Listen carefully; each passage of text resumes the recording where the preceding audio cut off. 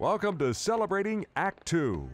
Celebrating Act Two is the user manual for the second half of your life.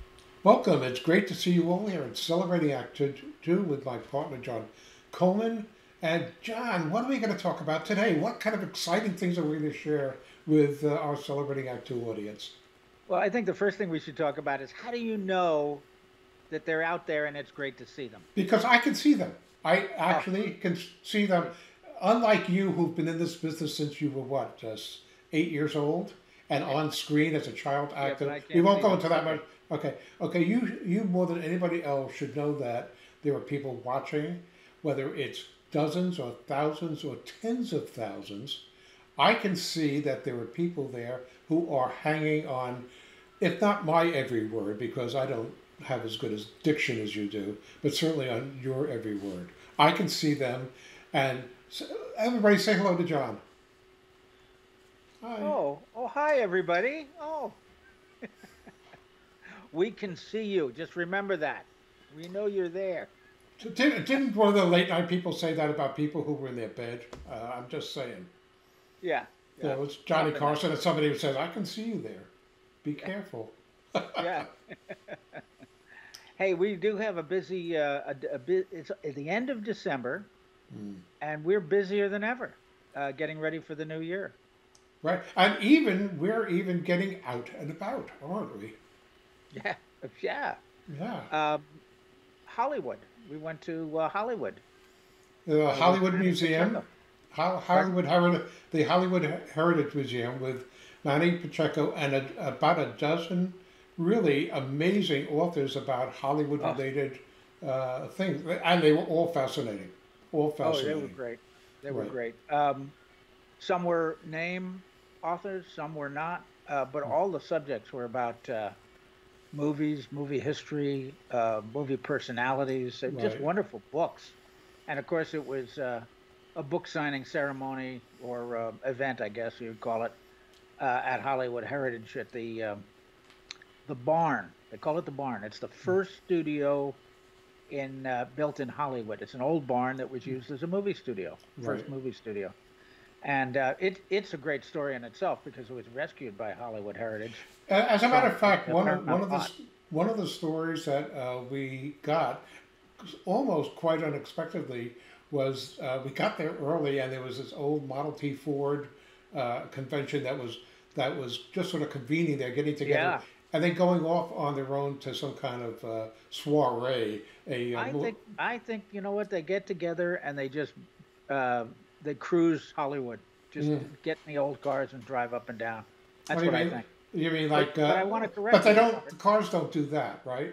No, it's a different kind of car club. But anyway, anyway, the the, the uh, uh some fellow named Brian who who actually runs the museum, sort of like gave us an impromptu background of the home museum. So we've got that, and we'll get yeah. that out to everybody. Really yeah, fascinating. We, we, we, got a lot of video, and of right. course we'll be processing it over the holidays and um, maybe uh, into the first of the year, and and it'll be available for you to watch. Mm-hmm. Oh, maybe uh, starting in late January, and we'll yeah. spread out. I think we've got. Didn't we get eleven author interviews with Manny Pacheco? Right. Also, by the way, you know, the only person we didn't uh, interview, who we've interviewed a hundred times before, is Manny. yeah, I know. He was too busy talking to everybody else. He was interviewing. Uh, he did, he did yeah. sell some books at the. Uh, yeah, a lot of books. Book signing, yeah. Um, I have to correct you though because it wasn't a Model T club. It was the Horseless. I'm trying to remember the correct name. The Horseless Carriage Club of Los Angeles. Oh. And the reason I correct the Model T is because you didn't, you must not have seen it, but there was a beautiful, beautiful restored Pierce Arrow. No, I uh, did not. I did not. I thought they uh, were all Model Ts. Most of them were oh, Fords. And there was a couple of there was a couple of racing cars. Oh yeah, they, they weren't. They literally weren't all Model Ts. In my vernacular, anything that's that old, older oh, than us even, older than us even uh, as a Model T, but it, in fact there were some really really high end touring cars. Yeah, uh, they, a great collect collection. Um, well, one thing I did notice though, uh, I guess it's uh, to make sure that uh, they don't slow down their uh, their opportunities to start up and get around. Very few of them really actually had cranks, and all of them yeah. had electric starters buried someplace underneath the hood. Uh, right. So they weren't they weren't exactly uh, uh, crank operated, but they, they, were all all stunning. And a lot of the people who own these cars and I guess to display them were wearing period costumes. So it's really kind of yes. fun. And in fact, um, uh, we, we, haven't shared it yet, but uh, I sent a copy of the parade of all the cars leaving the lot with the uh, uh, organizer of that event. I haven't heard back from him yet, but uh, uh, we were we did most of them um, without sound, MOS. to those in the crowd who know, mm. but really? that last okay. one the last one we got the uh, shotgun mic up and everything was running, so you hear these guys putt putt putting along, which was kind of fun. and there must have been about thirty or forty of them there. And that was yeah. just we weren't even expecting them. We just happened to show up early. That, yeah, it was be, it was before the book signing event. Right. We just showed up early and got another uh, another video out of it. It was right. a lot of fun. But the uh, I remember that was my uh, I don't think it was my first time in the Hollywood Museum, Hollywood Heritage Museum. Um, but I don't think I had been through the whole place before, mm-hmm. and mm. uh, this time we got to go in and out um, through the whole uh, building. And wow, what wonderful collections they have! What wonderful displays they have! Of course, at this event, most of the room was taken up with tables for the authors to sign books and stuff.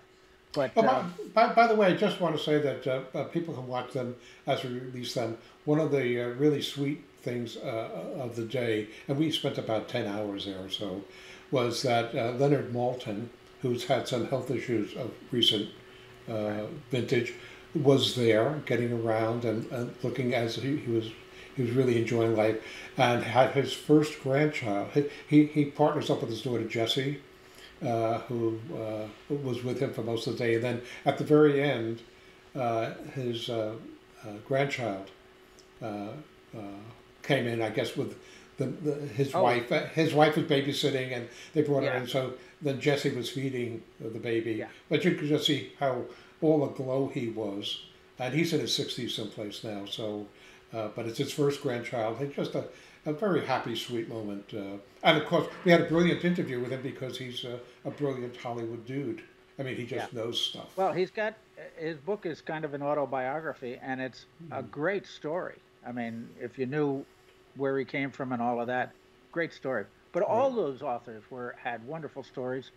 Um, William Wellman Jr. Ah, Wild Bill's son wrote the book about his father, and you could see it was very touching. You know. Mm-hmm.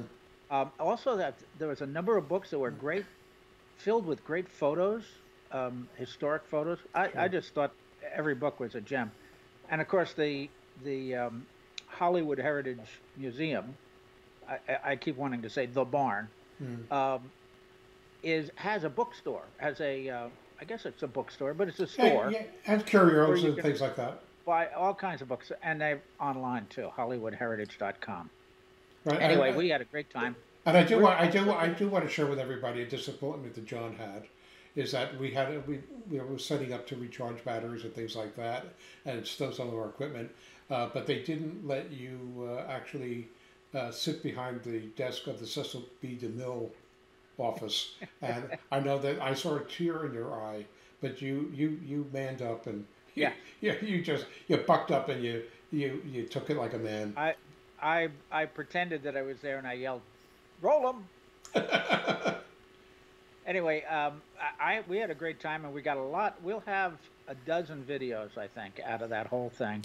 Right. And uh, you have to look at Celebrating Act Two over the first half of the year of 22, and you'll see them. We'll spread them out so you can see one a week or one a month or who knows what, but um, they're all interesting. Well, let's talk about um, some, uh, some other exciting stuff that we have going on. Like uh, tomorrow, we're speaking with Dave Samuels, who we haven't released yet. We've just done a wonderful uh, uh, uh interview with him uh, a week or two ago. He yeah. is a certified financial planner. yes. And say his, say his name again, Art. Dave Sam, Samuels. Okay. what what was it? Okay. and um, you and here, good friends. Yeah. Samuels. Yeah, Dave Samuels. Um, hey, oh, okay. you're making fun of the way I, I talk. Like okay. I heard you mumbling. Between between my lips and your ears, there's a huge gap, and it's not just the 50 miles that uh, our houses uh, are distant. My what? My what? so in any hey, event, uh, uh, what what he's going to talk about a whole bunch of individual items yes. tomorrow, which will release yeah. over a period of time. Do you remember what some of them are? Um, I remember that, of course, that's why we're going to interview him because he right. knows them, what we don't. But I remember that there were five pillars right. uh, to financial planning, and every one of them sounded important. One was uh, tax planning. Yeah. Uh, another was estate planning. Another was income. Uh, boy, is that important. When you get older, right? After you quote retire and you get on Social Security, you wonder where the next dollar's coming from. That's going to be an important one. But uh, five pillars of financial. Uh, hold it, John, John, because I have your production schedule here.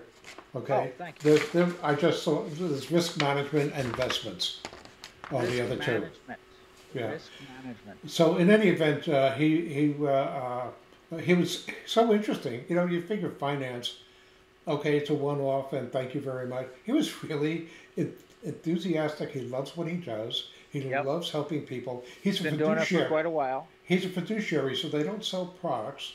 Okay, they base their fees on how well they do for their clients, and so uh, they are a different strata uh, than just going to uh, Fidelity or to Schwab, where you get uh, if, if you have enough money, they'll sit down with you and they'll come up with a plan, and then they try to you know, steer you into some good investments in, in their world and index loans and things like that. But yeah, whole, these people don't have an axe to grind, an axe to grind because they don't sell anything.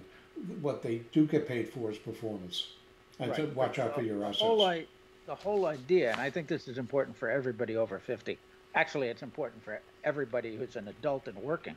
And hoping to um, become over fifty someday. Yes, who wants, wants to be fifty? Right. Um, the whole idea is to plan uh, for the future. So, you know, it's just as important to plan at 25, uh, plan for the, uh, buying a house, plan for putting the kids through school, plan for retirement. Mm-hmm. Um, it's just as important every year to plan for the future. It probably becomes more critical the older you get, I would think, after 50.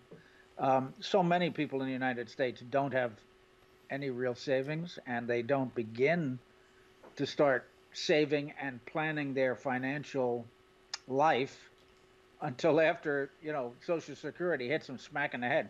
Bam! Oh, uh, uh, John, I want to let you. I, I, haven't shared this with you, John, yet, but I was so excited with uh, uh, Dave's first interview with us that I have already volunteered to be 25 again, so that I can do some proper planning. so you know, uh, if if I look a lot if I look a lot younger uh, over the next couple of months, uh, please don't throw me out of the club because I'll be 25, but I'll be thinking in my 70s. It's it's due to Dave. We'll thank yeah. him for that. Right. Yeah, yeah. Uh, but anyway, I think his interviews when we're when we get them uh, shot and edited, um, there'll probably be about six videos. I think those will be very important. Um, of course, he can't give specific advice because we're recording you know, for millions of people. But his his knowledge of financial planning, uh, I think, is really uh, going to be critical for a lot of people. Uh, people who haven't thought about, you know, planning their financial future. Okay. So, Another uh, exciting thing we have coming up is uh, in uh, I think it's next month. We're going to be interviewing J.A. Jance on her new J.P. Beaumont book yes. that's coming out in I think February. So yeah. Uh, now you, I'm a big Beaumont fan. I, I I love her books. She's got these three main characters that she writes books about. She's Ali like, Reynolds, Joanna Brady, and uh, some guy named Walker. Uh, and the Walker family. The Walker family. Walker, that's four. And uh, did you say Ali Reynolds? Yes, Ali Reynolds, yeah. Joanna Brady, and uh, the Walker family. Yeah. So the the uh, Beaumont series, J.P. Beaumont, he's a detective from Seattle. That's her um, first, her first uh, her, book, her, and a wonderful series. I know mm. you're a bigger fan of what Joanna Brady series. Uh, yeah, except that I uh, over over the uh, the last six or seven days, not only did I read the new book, but I read, uh, I reread the first book in the series, read the second book. I'm on the third book, Trial by Fury, I think it is, uh, for yeah. Beaumont. They're all fascinating characters. Uh, yeah. I'm liking him more and more all the time. And to me, as a character, he, uh, she, uh, I, I, spoke to her about it uh, about a week or so ago in the communications, and she doesn't know that he's changed that much. She's still one of her favorites. Uh, but I see where he's changed, and I think we exchanged a little information about that. Uh, but he really, uh, uh, as the books get further and further and further along, and uh, uh, I'm not letting any cat out of the bag. He eventually remarries and has a wonderful relationship with uh, the wife in this, this, new book and early books, which I know you've read. so I find him a, a, very engaging character as well. And I'm, I, yeah. Uh, uh, in the last three or four months, I think I've read about 11 of her books, plus an amazing book of poetry she wrote uh, when she was trapped in her uh, first marriage. And uh, wonderful, wonderful book. Fire yeah. after the fire. Is that what it's called? I think so. Yeah. Her book. Of have, hold on, I have it right here. Okay. it is at your fingertips. It, Hold it, up. Uh, after, the fire. after the fire, J.A. Jance.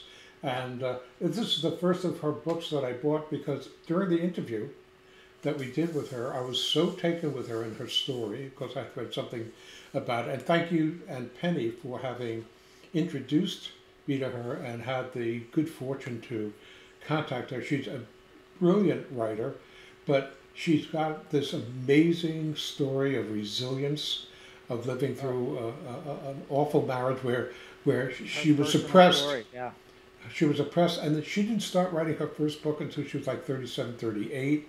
And she's now our age in her 70s, and she's got over 70 books, most of them on the New York Times bestseller list. Yeah. Really an amazing story. Yeah. Uh, and you can see her story in our interview with her. Yes. Uh, that we did a, a few months back mm-hmm. uh, which is up on Celebrating Act Two. But right. the next interview we do with her sometime, uh, I guess you'll see it sometime in February, is my guess. Right. Um, that interview is about her new coming book with uh, J.P. Beaumont, the, right. detective. Nothing and to lose. I think I love, nothing to lose.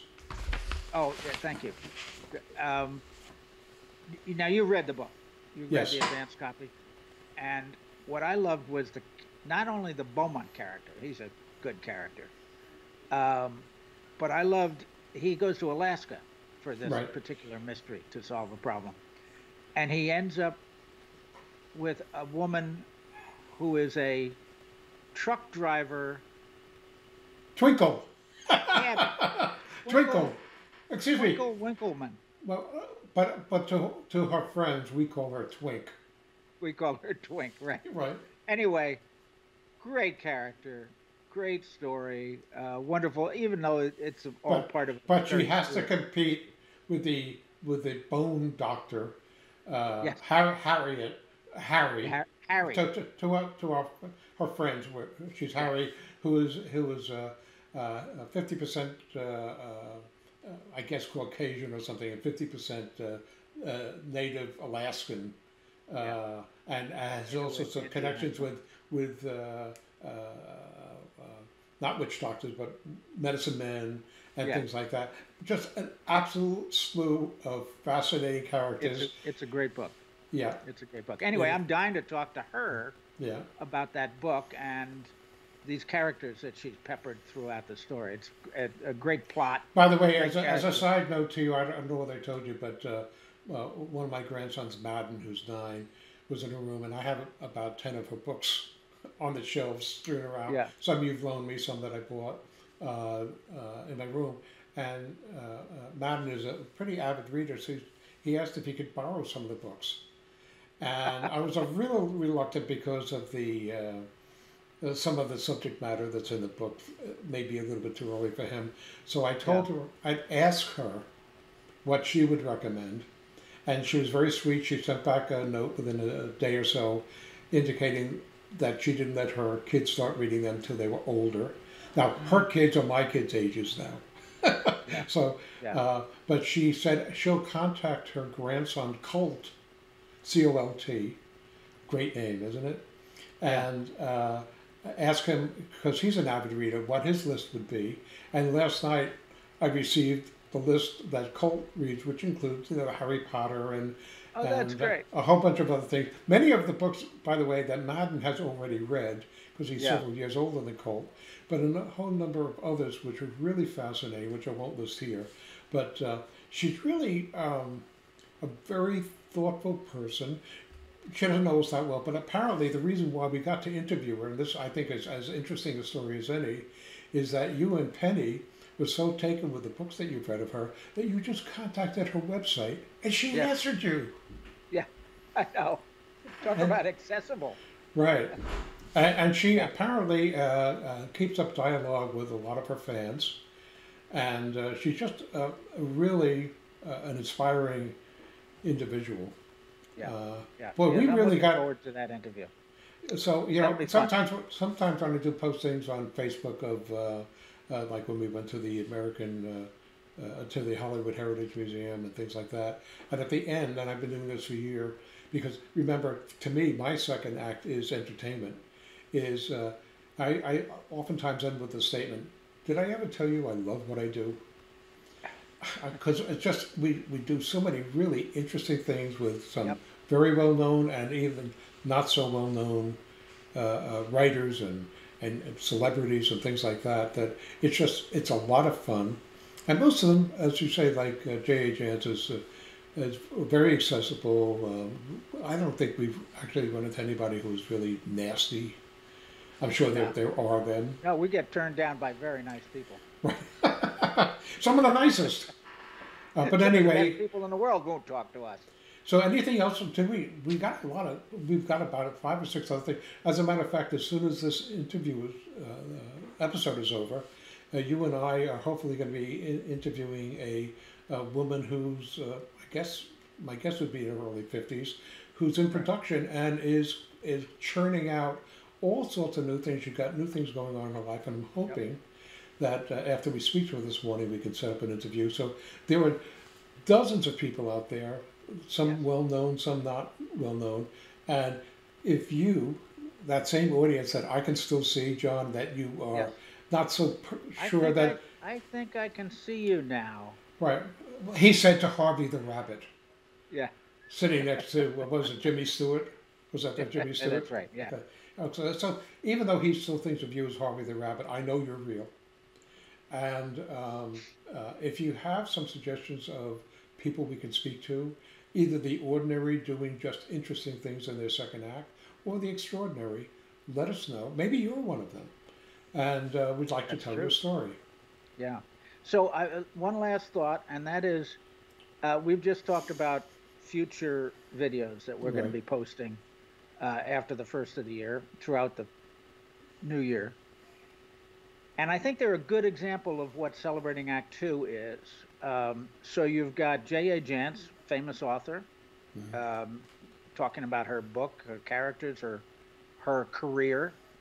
Uh, you've got Dave Samuels, a professional um, financial planner. Financial planner uh, with really, really good, solid advice applicable for everybody uh, at every age about finances. And uh, we've got Manny Pacheco, who interviewed a dozen authors and took us on a tour of the, uh, the Hollywood Heritage Museum. You know, so you've got entertainment and finance and uh, famous authors. That's a kind of a look at what we do, which is about life, all of life entertainment and finance and health and everything else. So tune in to Celebrating Act 2.com and Celebrating Act 2 on YouTube and let us know what you like and what you want more of. And we'll see you soon. See you. For more on Celebrating Act 2, visit our webpage, follow us on Facebook, subscribe to us on YouTube, and tell your friends. Celebrating Act 2 is the user manual for the second half of your life.